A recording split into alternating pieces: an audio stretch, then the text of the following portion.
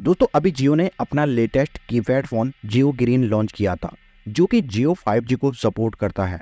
अब इसके बाद जियो अपना एक शानदार टच पैड वाला फ़ोन इंडिया में लॉन्च करने वाला है।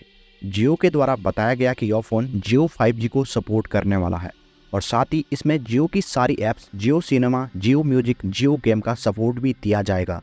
जियो इस फ़ोन को इस साल के अंत तक लॉन्च करने वाला है, और इस फ़ोन को टोटली अफोर्डेबल बनाया जाएगा। जिससे कि हर कोई 5G सर्विस का आनंद उठा पाए। एक न्यूज़ के मुताबिक जियो 5G का लॉन्च भारत में दीपावली के आसपास हो सकता है और इस फ़ोन का सबसे बड़ा हाईलाइट इसका प्राइस है। बताया जा रहा है कि यह फ़ोन दस हज़ार से कम प्राइस रेंज में अवेलेबल होगा। अभी तक फ़ोन के बारे में जो लीक मिले हैं, उसके मुताबिक यह फ़ोन 6.5 इंच की IPS LCD डिस्प्ले के साथ आएगा, जो कि फोर जी रैम और बत्तीस जी स्टोरेज को सपोर्ट करेगा। बताया जा रहा है कि यह फ़ोन स्नैपड्रैगन 480 चिपसेट पे वर्क करेगा। स्टोरेज को बढ़ाने के लिए इस फ़ोन में माइक्रो एस कार्ड का सपोर्ट दिया जाएगा।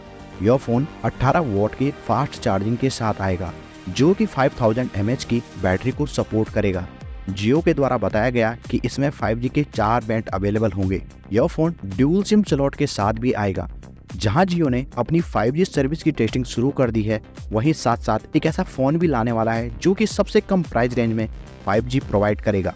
लेकिन यह फ़ोन कितना सक्सेसफुल हो पाएगा, यह तो वक्त ही बताएगा। तो ऐसे ही सबसे पहले फ़ोन की अनबॉक्सिंग रिव्यू और टेक न्यूज़ की वीडियो को देखने के लिए चैनल को लाइक शेयर सब्सक्राइब ज़रूर करें।